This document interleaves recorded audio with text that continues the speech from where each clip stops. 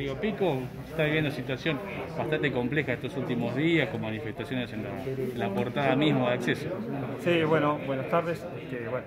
Primer lugar, te este, agradezco a, la gente del Ministerio de Educación por haberme invitado, por la firma de convenio. Así que agradecido a la ministra, a Pedro Cardona, a su secretario, al gobernador también por, la, por el esfuerzo que se ha hecho de poder lograr esta firma hoy Bueno, eh, ¿cómo estás siguiendo todo este movimiento social que se está viviendo estos días en la puerta del pueblo?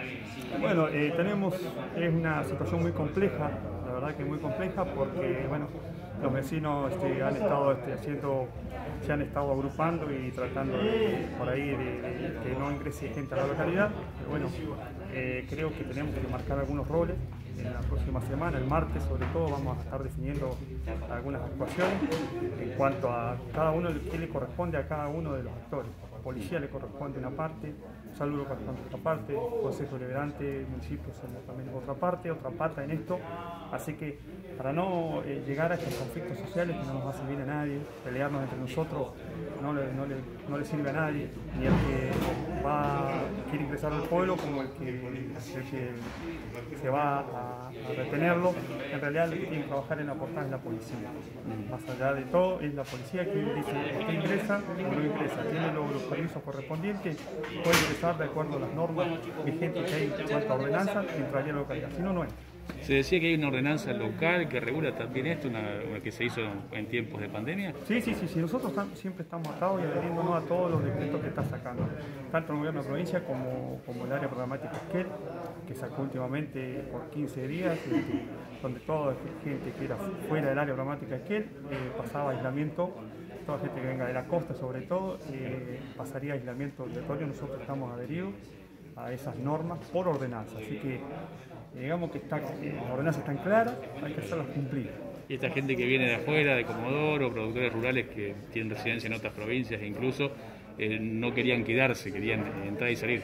Claro, pasa que hay gente que por ahí dice, no, yo entro por dos o tres días, el aislamiento son 14 días, hay, hay otra figura de aislamiento eh, transitorio que hay, mm. pero bueno, eso todavía hay que reglamentarlo, hay que reglamentarlo, así que estamos eh, viendo esa parte, cómo vamos a hacer con gente por ahí que no es domiciliada en Río Pico, pero sí tiene sus inversiones en Río Pico, que vamos a tener que reglamentar esa parte, pues no le podemos prohibir por ahí.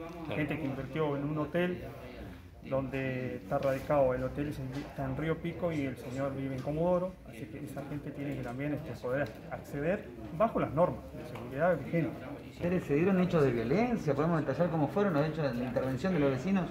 No, sobre todo intervención de los vecinos, que por ahí... Este, sí, uno por ahí no sabe en qué puede terminar. Porque todo empieza con, con un rechazo hacia algo y por ahí hay un par de resistencias de un lado u otro y puede terminar muy mal. Así que no es lo más recomendable, la verdad. Yo les pido a los vecinos tranquilidad, mucha tranquilidad, que se lo voy a transmitir eh, por los medios locales, por, eh, personalmente. Río Pico nos vemos todos los días, así que yo convoqué una reunión importante para el, para el martes, que se va a hacer en el gimnasio municipal. Hablando con todos los vecinos. Hablando con los vecinos, como prestadores turísticos. Eh, quien tenga una duda, quien tenga siempre estoy ahí, estoy al frente para, para, para, tratar de bien las cosas y no se trata de, en realidad se trata de cuidar. Acá se trata de cuidarnos todos, que no se piense que porque un sector dice sí, otro sector dice no, no, no, no tenemos que cuidar todo. ¿Esto es genuino o usted considera que la política también está entrando en juego, movilizando a la gente? Sí, por ahí bueno hay que ver, eso se está analizando, se está analizando a ver que eh, las personas por ahí si, si están este, ¿Cuántos son más o menos? Convocadas por algunos. No, hay, hay una cierta cantidad de personas que por ahí se autoconvocaron. Eh, por ahí por miedo, hay gente que va por miedo, hay gente que por ahí va con alguna intención, con una mala intención o no. Pero bueno, es, es relativo esto. Es la verdad que alarmante, preocupante que en un pueblo tan chico, donde nos conocemos todos, donde todos somos prácticamente amigos, suceden estas cosas. La verdad que yo soy anti, anti estas cosas, anti movilización y anti, antes de esto, primero hablemos, no, tenemos que hablarlo, tenemos que consensuarlo y buscar las cosas, darle la solución de la mejor manera. ¿Usted ha tenido diálogo con alguno de ellos?